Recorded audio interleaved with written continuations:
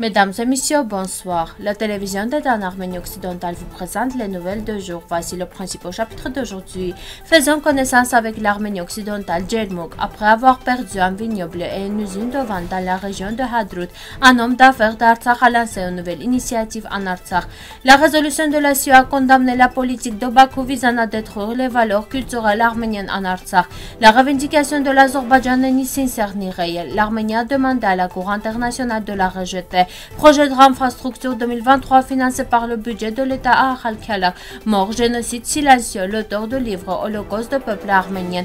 À l'occasion du 850e anniversaire de la mort de Nerses Shnorhali, le choral ouvert présentera un programme de concert à l'UNESCO.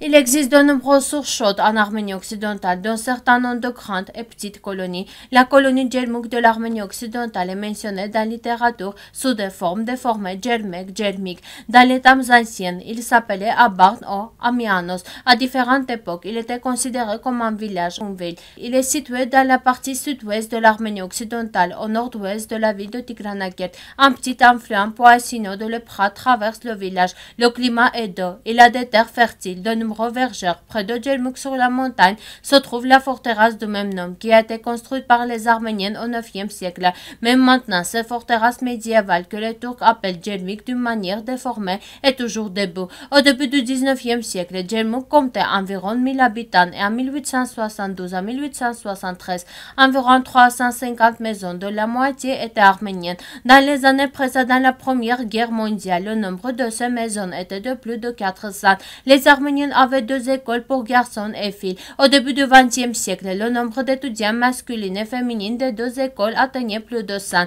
La population arménienne de Djermouk et de la province de même nom, ainsi que les Arméniens d'autres régions d'Arménie occidentale, ont été partiellement détruites et partiellement déplacées par les Turcs en 1915.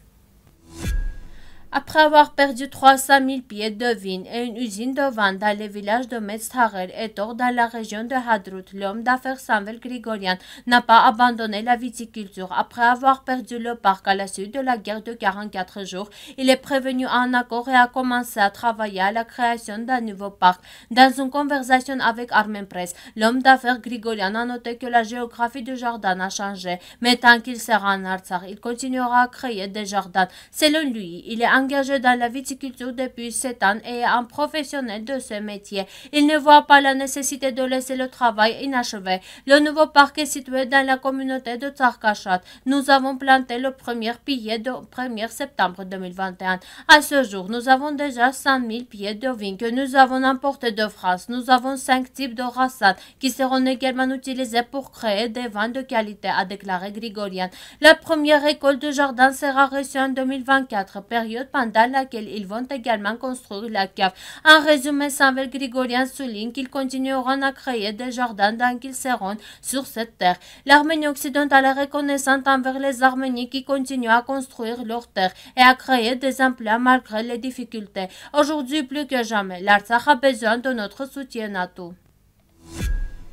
Le Parlement européen a adopté la résolution mise en œuvre d'un nouvel agenda européen de la culture et d'une nouvelle stratégie de l'UE pour les relations culturelles internationales. La résolution fait référence à la protection d'un valeur culturelle dans les zones de conflit et condamne la destruction délibérée du patrimoine historique, artistique et culturel lors de récents conflits. Sur la base de l'amendement signé par le président de la sous-commission des questions de sécurité et de défense du Parlement européen, Nathalie Loiseau, consigné par le député de la même faction, Petra Sostrevicius, la politique continue de l'Azerbaïdjan visant la destruction des valeurs culturelles arméniennes en Artsakh est également clairement critiquée.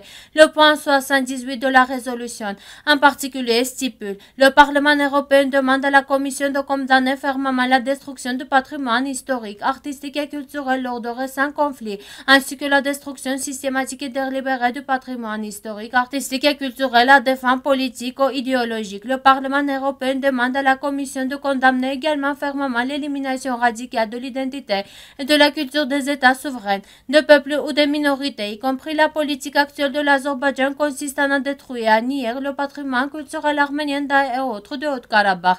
L'Arménie occidentale enregistre avec un autre cas que les monuments culturels arméniens ne peuvent être mieux préservés que par les Arméniens.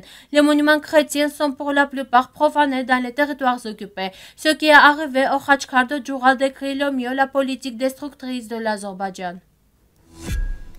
Le demande de mesures provisoires présentée par l'Azerbaïdjan devant la Cour internationale de justice des Nations unies est une demande peu sincère et irréaliste. Yerche Kilakosian, représentant de l'Arménie pour les affaires juridiques internationales, l'a mentionné dans son discours de clôture lors de la discussion de procès intenté par l'Azerbaïdjan contre l'Arménie à la Cour internationale de justice des Nations unies, ajoutant que l'Arménie demande au tribunal de rejeter le procès intenté par l'Azerbaïdjan. Comme le montrent les conseillers juridiques, de mesures provisoires de l'Azerbaïdjan une demande pour sincère et réaliste. Il est conçu pour créer une fausse impression d'égalité. Sur la base de présentation orale, l'Arménie demande au tribunal de rejeter complètement la demande de mesures provisoires de l'Azerbaïdjan, a déclaré Kirakosian. En conclusion, Kirakosian a exprimé sa gratitude pour avoir reçu toute la délégation de la République d'Arménie à la Cour internationale de trêve des Nations Unies.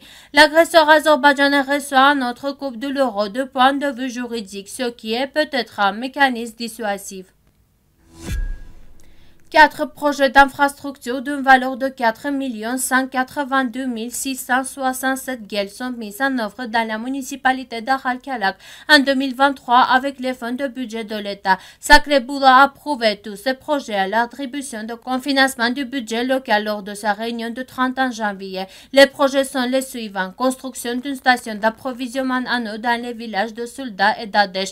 Installation de la conduite de principale et de réservoir. Réhabilitation de la route route Karsep-Apnia, réhabilitation de la route Aboul-Kartikam, réhabilitation de la route Ptena-Chunchushka. L'Arménie occidentale évalue positivement les actions visant le développement des infrastructures qui contribuent à l'amélioration des conditions de vie des Arméniens dans la zone concernée. L'écrivain argentin Sulim Granovski, qui a écrit Génocide silencieux, le livre Holocauste de peuple arménien, rapporte le journal arménien local Diario Armenia. Granovski avait 99 ans. En mai 2014, Granovski a présenté un livre en espagnol sur le génocide des Arméniens. Dans le livre, il dit que prendre une position claire face à une telle tragédie est une obligation urgente. Parlant de son livre, Granovski a noté que la plupart des bâtiments, y compris les principales mosquées de Constantinople, ont été construits par des architectes arménienne. Les responsables arméniens étaient les conseillers du gouvernement turc. Mais c'était une fausse paix. Cela a été démontré avant même le début du génocide organisé contre les Arméniens en 1915. En quelques années seulement, à partir de 1895, le sultan rouge Abdulhamid appelé ainsi à cause de sa soif de sang a commencé l'extermination de 300 000 Arméniens, noté Granovski. L'Arménie occidentale exprime ses condoléances à l'occasion du décès d'un éminent bibliographe, ce qui l'a fait restera dans l'histoire comme une réalisation importante dans la lutte pour la justice. Sona Hovanisian, chef l'orchestre, fondateur de chœur d'État, Hover, recteur du conservatoire d'État de nom de Comitas. Sona Hovanisian, lors d'une interview avec la station de Radio Freedom, a déclaré qu'à l'occasion du 850e anniversaire de la mort de la poète arménienne, chroniqueur, musicien, compositeur Nerses Norhali, le chœur Hover s'est vu proposer par l'UNESCO de présenter un programme de concert Nord. Depuis des décennies, la chorale Hover transmet aux mélomanes des chants spirituels arméniennes accumulés au fil des siècles les meilleures œuvres arméniennes et d'Europe occidentale des œuvres d'auteurs modernes et comme le souligne son arovanicien, la richesse que nous avons dans l'inclusion de la musique orale spirituelle en partie, en petite partie, nous présenterons notre cher auditeur. Merci de votre fidélité. À la fin de notre émission, vous pourrez profiter d'une performance musique folklorique des Arméniennes. Vous pouvez écouter la version complète de la musique sur notre site web.